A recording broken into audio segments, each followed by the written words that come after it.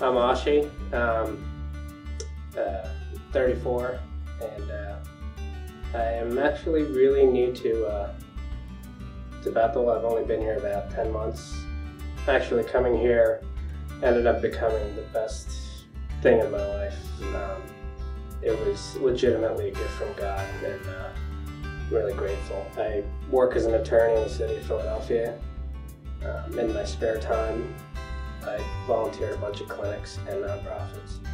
So even though I was born in the U.S., I, I grew up in India, and I mean, as you know, you, you've heard from uh, many people who visited there. It's a it's a polytheistic uh, nation. It's um, where there's every different region in the country has got their own uh, deity that they follow, and just one of the things that was always very off-putting to me was um, that people treated idols better than they treated each other.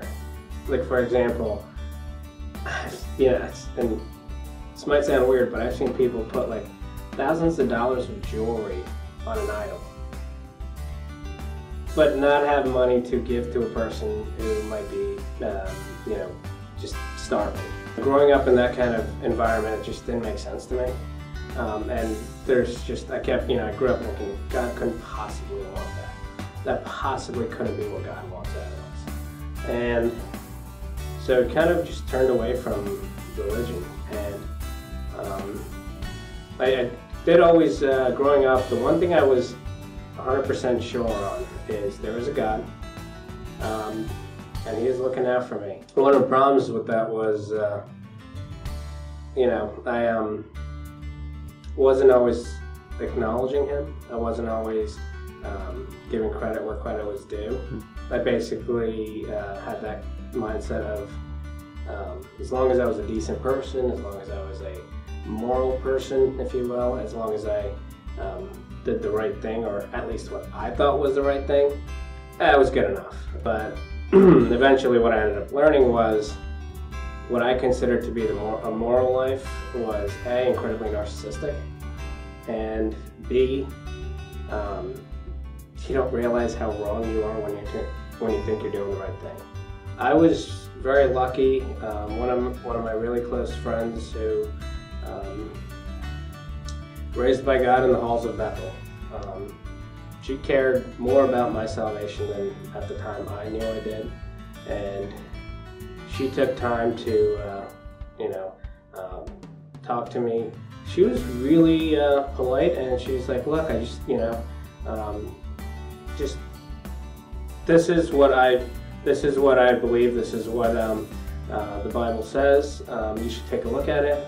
And it was just one of those things that you just, you felt so it felt so awesome to have somebody care about you like that that I actually went home and studied it. I had asked her, you know, um, would it be okay if I came to church with you? And at Bethel, we just started the Belief series, and I think it was just the perfect time um, for me to come here. Just it's amazing how God works and how how incredibly strategic and how precise His plan is um, because that was exactly what I needed at that time. And ever since then, you know, it's just it's been awesome because so many people from Bethel have taken time and invested it in me and in, in, in my maturity and in my um, in my salvation. And basically, the way I saw it was God was calling me and saying, "Look, you're going to come to me." But I'm going to put all these road signs in your way. We're going to point you in the right direction. Mm-hmm. And that's what a lot of these, a lot of folks at Bethel were, where they were those road signs that were like, go that way. And eventually it led me to, uh, you know, um, accepting Christ as my uh, Lord and Savior. After I knew I had accepted Christ, and after I just felt that overwhelming relief and that overwhelming joy and that peace, you start thinking back and, and, and things that have happened in life. And you realize how 34 years of existence has led to this moment.